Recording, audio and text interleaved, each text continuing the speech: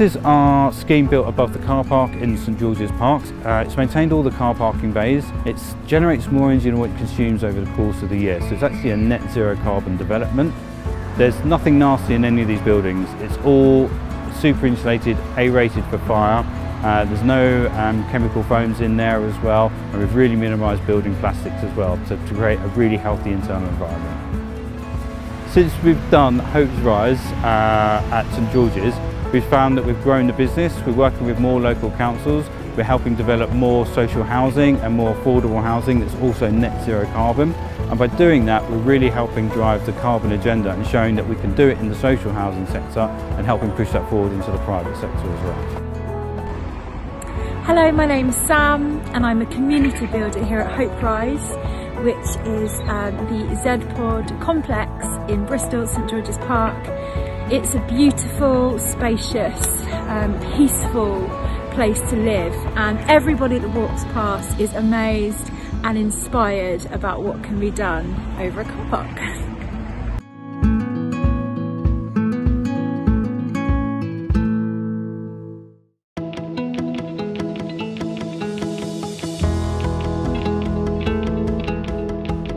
What we've done, we've developed a zero carbon housing model that creates more energy than what it consumes over the course of the year.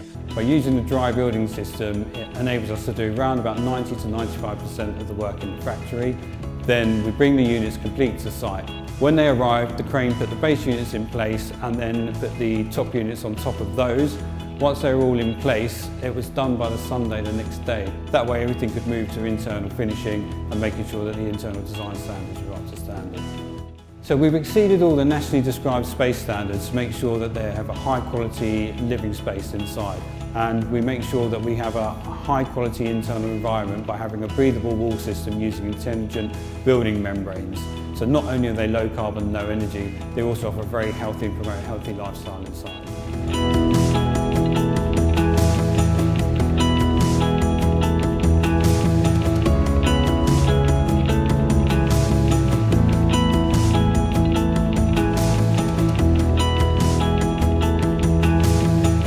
So we decided that we wanted to give a nice high-spec finish that was also durable. This is a permanent building, a permanent dwelling. Has a 60-year design life warranty and is designed to last 100 years plus.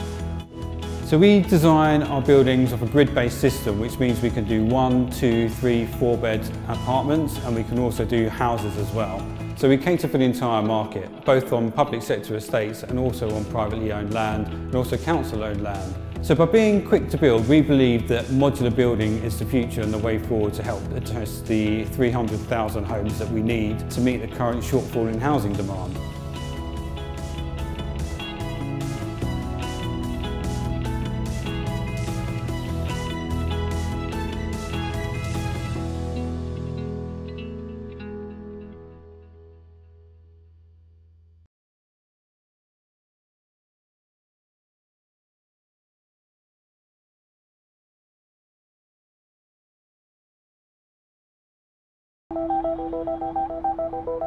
The UK is in the middle of a housing crisis. There's a shortage of properties, and those available are unaffordable for many. Thousands of families are struggling to pay their rent, and according to a new report, homelessness is rising. Bristol has experienced some of the biggest price rises in housing, and that's put them at the very forefront of coming up with alternative solutions to the housing crisis. Hope Rise is a pilot modular housing scheme for young adults at risk of homelessness. Jez Sweetland is the project director. We're looking at a scheme of 11 homes sitting above an existing car park. What are you trying to achieve for the people who will move into these homes? The people that we're targeting here are those people principally that are on Bristol City Council's housing waiting list. We're saying, look, you've got a secure home. You can be assured now you're going to have a roof over your heads. As these homes are owned by the council, the rent is significantly cheaper than many privately owned properties. And this project doesn't just make finding a home achievable, it was also built in an unusual way. This housing is built off-site, and then off the back of the lorry comes one of these homes. We can be in and out much faster, so the disruption in terms of the amount of cranes, the amount of lorries coming to site, it will be a much quicker process. One of the residents is singer Sam Jones. She lives here with her partner and has a baby on the way. Sam was given a place here so she could help build relationships between the often vulnerable residents. We had to qualify for social housing to be invited into the project, but in reality, we would have absolutely never have got social housing unless we were volunteering our time to encourage a sense of belonging and community. Who qualifies to live in a building like this? People that have faced housing crisis in some way, whether that's um, having been in care, their home situation's not being suitable, or they've sought asylum. Each property is powered by renewable energy, keeping bills down. And unlike traditional rented accommodation, tenants here choose when they want to move on. There's lots of people that feel completely beholden to the kind of whims of their landlord. And I think being able to choose when you leave and to know that the rent won't just be hiked up, there's a level of stability in that, and it's totally home. The success of this scheme has inspired similar projects across the UK.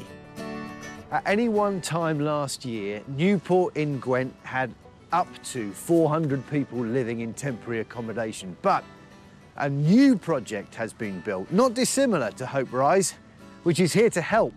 The Hill Street project is also built on the site of an old car park. It's home to 12 residents living in more affordable, energy-efficient properties. Sam Lewis was living in temporary accommodation for six months before moving in. I got into temporary accommodation through a breakdown of a relationship. Private renting wasn't an opportunity because the pricing is so high. I had nowhere to go.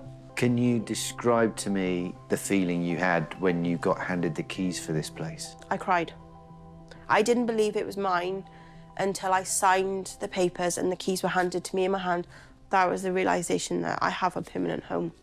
I have somewhere I can feel safe. The crisis isn't going away anytime soon. But maybe homes don't have to look the way that we're used to them looking. They can be these modular homes providing safe, warm, economical spaces for people to live in.